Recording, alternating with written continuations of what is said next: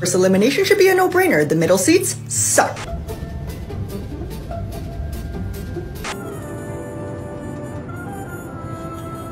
I'm in the middle.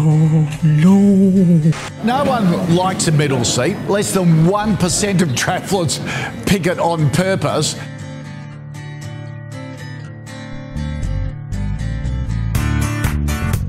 Well, here's what Virgin Australia is doing about this middle seat situation. They've launched this middle seat lottery.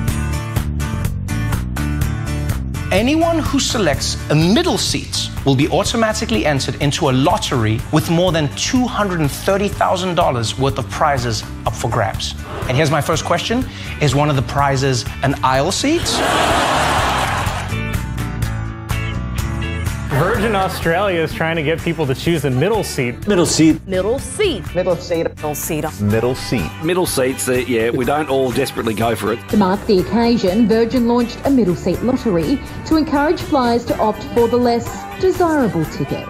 I can't believe the things they're talking about giving away just to get you to sit in the middle seat. They have full day helicopter pub crawls, two night vacation in Cairns, Australia, Caribbean cruises, points, flights, and holidays. I'll take it. I'll win all the prizes. So this is an exercise on how well we can think outside the box. La aerolínea Virgin Australia ha lanzado. You're perfect for the middle seat.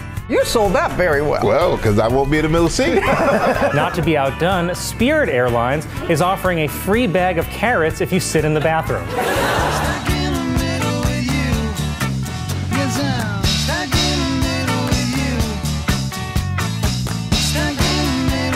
What a strategy. What next?